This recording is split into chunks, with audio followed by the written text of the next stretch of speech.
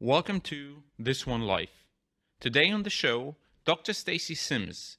Stacy is an exercise physiologist and nutrition scientist. She has directed research programs at Stanford, AUT University, and the University of Waikato, focusing on female athlete health and performance.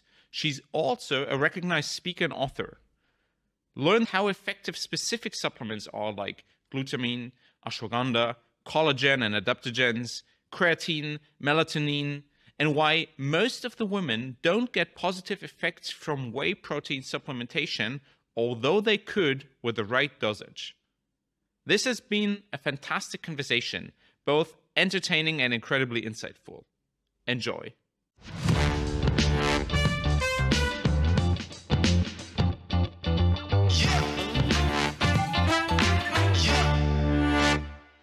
Often when you talk about supplementation not you people generally talk about uh, supplementation i'm worried that two dangerous things come together. One is an obsession with performance and results and that combined with uh, short attention spans and the feeling you should get results overnight. A big part of the supplement industry feels to be fueled by the pitfall to neglect the basics and hope to find shortcuts through supplements is there a very simple way for you to say okay look supplements can make 5% of your health and performance and 95% of all the basics or is it 10% or is it 3% do you have any rough guideline to give us here? No i don't have a percentage to give you I always look at it as you need to be a healthy athlete. And so if you have all the metrics of health and you're eating a really good diet and you're able to adapt to your training, then we look at supplementation. What are the issues that we're having and what kind of supplements can we use to support that? So if you are a healthy athlete and you're wanting to compete in regional CrossFit games or you want to do obstacle course racing or you want to do Hyrox and you have to do these really hard multiple sessions of high anaerobic capacity and then you have to do a big block of strength. But we want to support that with specific supplementation. We want to look at how are we going to implement protein dosing throughout the day to make sure you have enough amino acids for recovery and lean mass development. We want to see that between those workouts within a day that we might be supplementing the second workout with some beta alanine or maybe some bicarb to help you get more out of that anaerobic capacity. Because again, like I said, the whole goal of training is to hit a training metric or training stress to adapt to it. So if we're putting heavy loads in certain points, then we can use supplements to help get to that top end point but it's not about using it all of the time, which I think is the disconnect that people have. They're like, this is my pill and supplement routine. I have to take these every day. And most of the time, people don't realize why they are taking them and the fact that you do better when your body is trying to learn that stress itself. And the supplements are there to supplement and help with that extra top end. And we see a lot of problems with elite and professional athletes who are trying to get that extra edge and they're just drawn in by marketing dollars. Like you see them supposedly drinking Powerade and Gatorade; those are supplements, but they don't do anything for you. As a matter of fact, they can effectively dehydrate you. Or you might see someone going, "I want to use this Hemo Rage pre-workout because it makes me so ready for the gym," and then they realize that, "Oh, I'm going to test positive because there's some hidden things in there that I didn't realize." And they don't really need to use it if they look and say, I need to be ready for a pre workout, pre works is just ca- caffeine that's been stacked with something else. So have two shots of espresso and I don't, I don't know if you're a man, have some beet juice. If you're a woman, have some beta alanine and boom, good to go.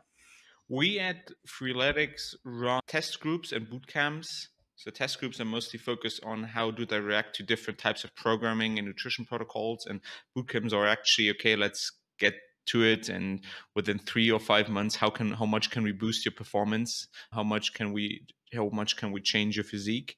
And with, with very good results and we have a very clear hierarchy that we tell the people when it comes to because this topic always comes up supplementation. What should i take to improve my results? And the hierarchy is we have a pyramid and that's a five step pyramid and supplements is really the last part of that pyramid. So the first basic is calories. Like whatever you want to do, you need to get your calories in. If you want to lose weight, you have to be below your calories. If you want to gain muscle, you have to be above.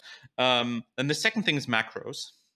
Then the third thing is quality of the food. So we always discuss where's quality of the food. Is that before macros or after? You can argue that, but so either on second or on third, it's quality of the food. In parallel they're in parallel building that same band. That, that's then it's not so hmm. easy to market. We're talking about marketing here again. yeah. okay. okay. so so let's say ca- calories. Then in parallel you have macros and quality. Then we think about micronutrients in the food, and then only afterwards, at the last point, we think about supplements. And before you don't have the other things properly managed and in place, you don't have to think about supplements. That's our philosophy. Exactly. That's exactly how it is. I remember when Interbike, the big bike show in the States, used to be in Las Vegas. And I jumped in a cab to get from the trade show to the airport to fly home. And this guy jumped in. And this is when I was racing bikes. So I had like my team jacket on. So he started talking to me about bikes and he was talking about how he gets up and he tries to ride every day and he does his caffeine and his beta alanine and his beet juice and he goes off and he goes for his ride. Now the picture in my head i want to describe being pc but it's not going to come out that way. The guy who got in the cab with me was i'd say in his upper 60s very robust red face and a bulbous nose, indicating that he drinks a lot, very big beer belly. And then he's telling me that he rides 10 miles a day after taking his caffeine and his beta alanine and his beet juice. And I was like, I'm sure there's a whole lot of other things that we should be doing first before we're using those supplements. I get that picture, yes. yes.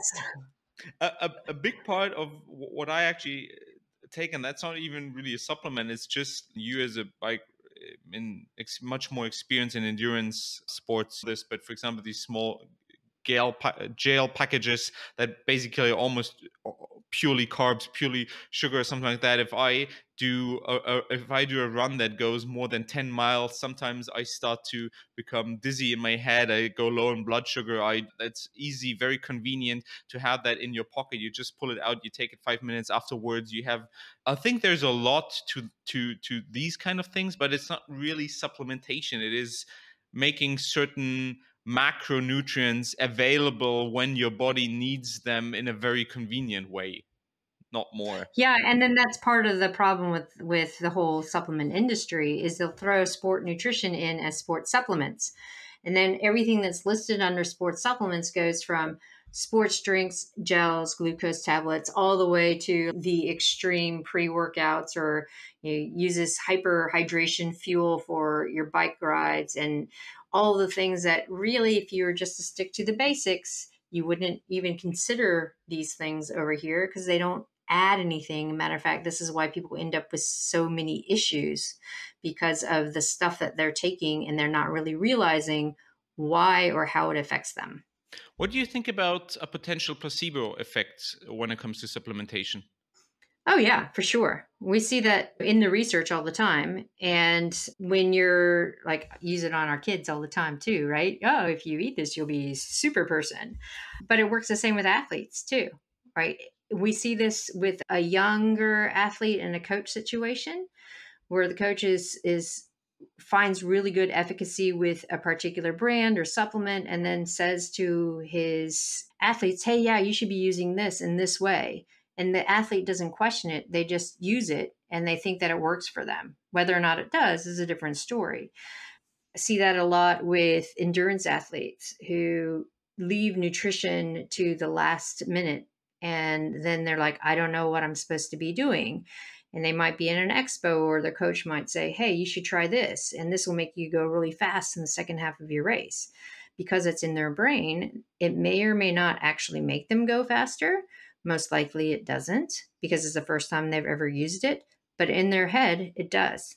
So we see it a lot, and it's a big, huge area and robust research in the psychological literature about the placebo effect. So you could say that okay, if you randomly take one of the commonly available advertised supplements, chances are not bad that at best it does nothing for you and just you just pee it out.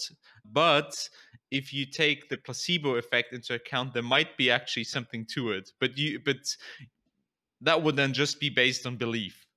Yeah exactly.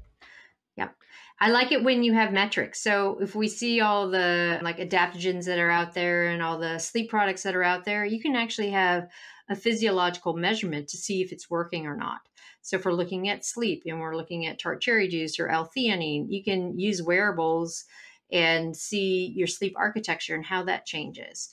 If we're looking at adaptogens to counter stress and cortisol, you can see that through mood changes. You can also see that in sleep and parasympathetic drive with your heart rate variability. So there are things that you can measure from just things that you're using at home. But when we're talking about those top end performance supplements, a lot of that is that placebo effect. Uh, you have mentioned adaptogens, and, and there is somewhat a rise of adaptogenic supplements and the belief in their potential to combat stress and enhance energy and improve mental clarity, especially marketed to women. What do you generally think about adaptogens? And when we think about sleep, uh, what are some of the things you would look at first in terms of supplementation if you want to look into supplementation for sleep? So I love adaptogens, and I say that with a caveat in the fact that there's only a few that have peer review, complementary alternative medicine, RCT work behind it. We also can include medicinal mushrooms in the adaptogen category. So we're looking at reishi, we're looking at lion's mane, cordyceps, those kinds of things. So when we're looking at why it's being marketed at, at women, it's primarily being marketed to the 30 plus set because of the stress compounding aspects that a lot of women are complaining about or do experience. So, if we look at what adaptogens do, I'll explain to people what an adaptogen is. If we look at some of these plants that these adaptogen compounds come from, they are plants that are in stressful environments. For example, Indian ginseng grows at high altitude. And because you have severe weather changes and it becomes really cold, and then sometimes you'll have some really severe heat from the sun, the plant itself has compounds within it that allows it to survive. So these uh, adaptogenic properties come from specific plants that have these ability to survive in extreme conditions. So if we look at ashwagandha, which is another popular one, ashwagandha has withanolides, which is the plant compound that works with your body's stress system to understand how much cortisol is being produced, how sensitive you are to that, and it will read it and be like, okay, there's a lot of cortisol, but we don't need to be as sensitive. So I'm going to downregulate some of these cortisol receptors so I don't get as much of a feeling from the stress. We also see that it works with thyroid and thyroid hormone production. So, if you are a bit low in thyroid production, thyroid hormone production, ashwagandha can help boost it up and make your body more sensitive to it. So, it's not like taking a pharmaceutical agent where it's masking or replacing something. Adaptogen's whole idea is to work with the body's system itself so it becomes a unique experience for every person that uses it. So I could be using ashwagandha and your wife could be using ashwagandha and we're both stressed out, but her stress is triggered by something else and then what's triggered by me. And her stress might be interfering with her sleep, where my stress might be interfering with my ability to think clearly. So the ashwagandha is going to work differently to mitigate the stress, and we both end up in a better state. It is so difficult to figure out for you individually whether you should take a supplement, and if so, in what dosage. I, I had, I was taking ashwagandha because of I don't know, stress is maybe the wrong word because stress always feels so negative, but as an entrepreneur there's a lot going on in in your life together with family and and all of these things and i just felt that something that would help me in a natural way to calm down a bit better in the evening would help me and i did have the feeling that it that it helped me with that.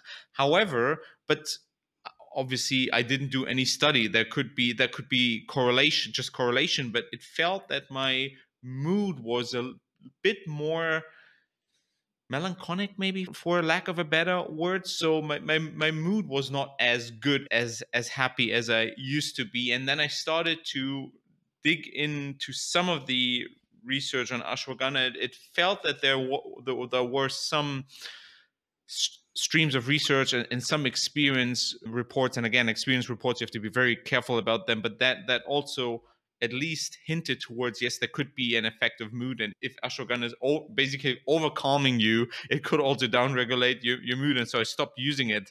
Again it's have you tried rhodiola? No i haven't.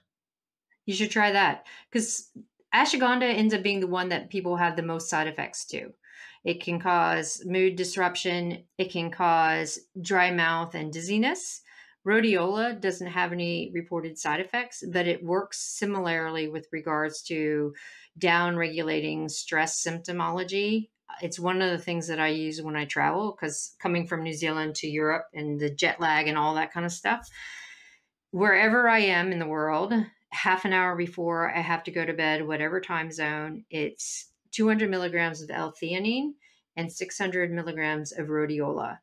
And both of those together really work to activate parasympathetic response for me. So I can get into a really good deep sleep, even if I've just landed in a new time zone. And so I find that rhodiola stacked with L-theanine, which is not an adaptogen, but those two work really well for me. Very interesting. I'm going to take that down as a note and try that. What do you think about? I'm blanking on that name. This very popular s- sleep supplement. Melatonin? Yes, exactly. Exactly. I my personal again personal experience i don't want to make this too much about personal experience but i use when you talked about traveling i use that when i travel go intercontinental and it seemed to help me but i was always very cautious in taking it regularly so i only take it on when i do have these jet lag issues. Yeah so melatonin is uh, somewhat of a pharmaceutical because your brain naturally produces it and it is involved in sleep but the dosage for melatonin because you can just buy like 100 or 200 milligram melatonin pills we don't know if that's too much or too little. So some people will take melatonin and they'll wake up feeling hungover. And, and there has been some studies that is looking yes it's good at resetting circadian rhythm in men maybe not so much in women because there's a difference in circadian rhythm length. And if you use it on a regular basis then you end up not being able to fall asleep and stay asleep as well as if you didn't use it because your brain has become more reliant on the pill intake. This is why I, I love L-theanine because L-theanine is a non-protein amino acid that works with the GABA system in the brain to really activate alpha waves in the parasympathetic response. It's not a hormone that's going to invoke you to fall asleep. It's actually involved in the process of sleep architecture and there is not a side effect to it because it's something that your body naturally uses in its build up to falling asleep getting into that slow wave sleep and it doesn't doesn't have any of those side effects. It's similar to an adaptogen with the fact that it's not a pharmaceutical to replace something in your body.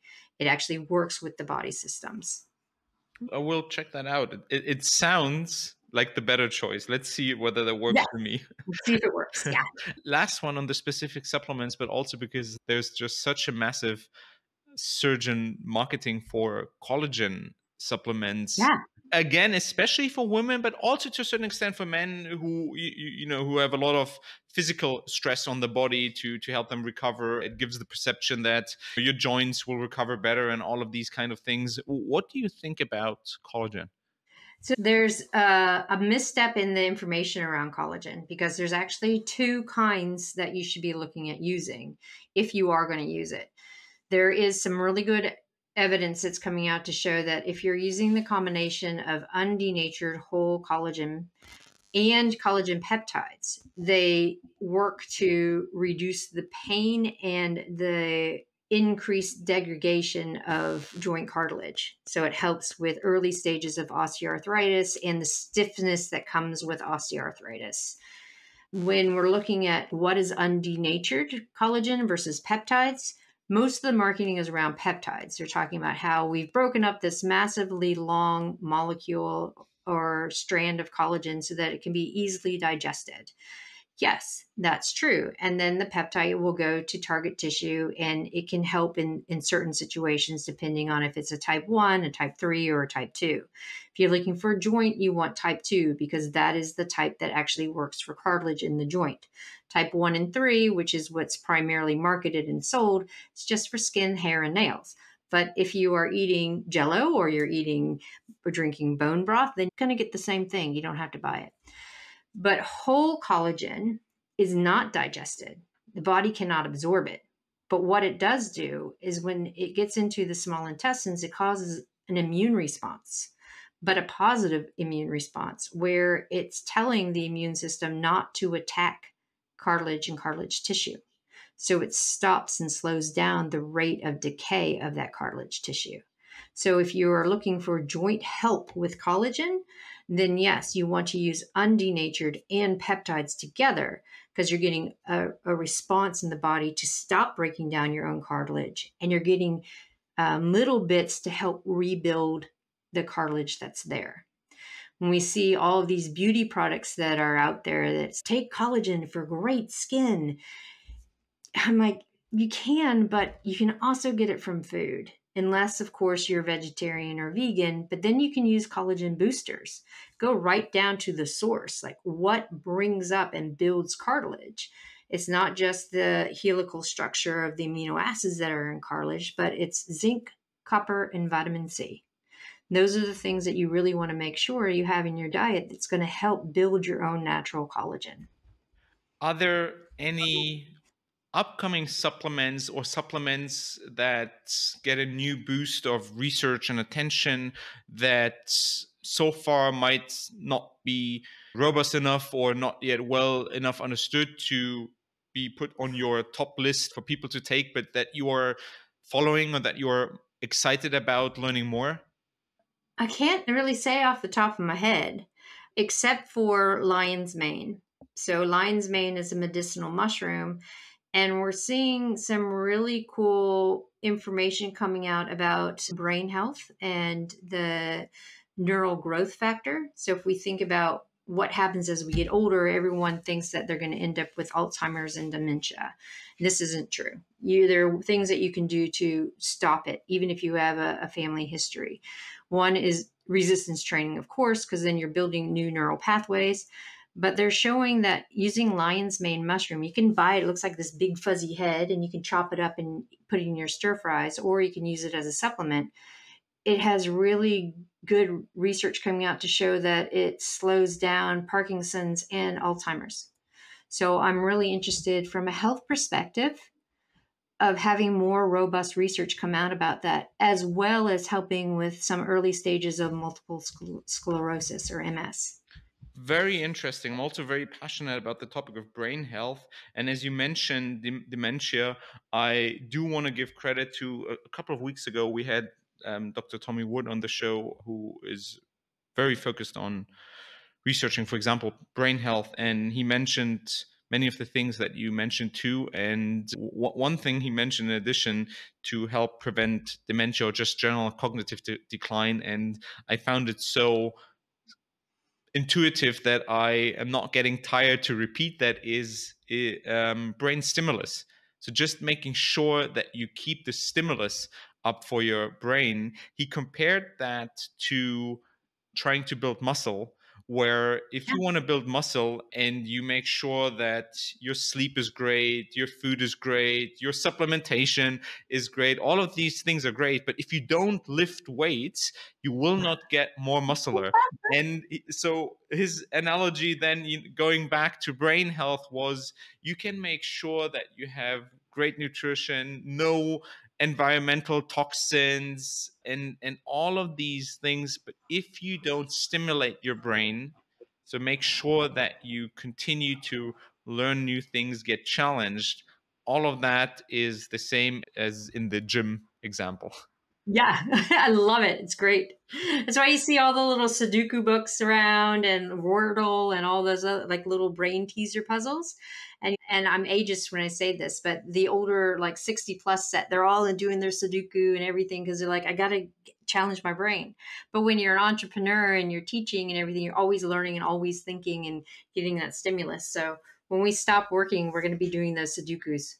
Yeah, he uh, there's this point in time when you when you retire or at least normal people retire and they stop step out of workforce that's when you see a lot of these dementia and cognitive decline things accelerate because this big stimulus on your brain just dro- drops out and also we were yeah. talking about that at least on population level your your brain health peaks somewhere in in mid 20s around because to some extent because of physical reasons, but mostly at that age because in your late teens and early 20s this is when you when the average person gets most of their mental stimulus. They learn so much they see so much they travel they study they go through different jobs and all of these kind of things. And the more you progress in life the more you focus on one career the more you stay in one geography the more you already know the trade how you do your work and the challenge and the stimulus re- reduces and that's why then also brain health generally reduces. Decline. Very fascinating yeah. topic. Yeah. Cool i'm gonna have to listen to that one. Stacy this episode as the last one was uh, fantastic both entertaining and extremely informative for the listeners who did not have the chance yet to listen to our first joint episode, where should listeners go to learn more about you and your work? The biggest place is our website, so drdrstacysims.com. So that has the list of all the courses we're doing. You can go media page and find all the stuff that I've been doing. Sign up for a free blog and newsletter because I put something out every couple of weeks with new research topics. To Instagram and Facebook if you still use it, Dr. Stacy Sims. So yeah, I'm out there in the ether space. So come find me. Thank you so much for taking the time. Yeah, thanks for having me. It's been fun.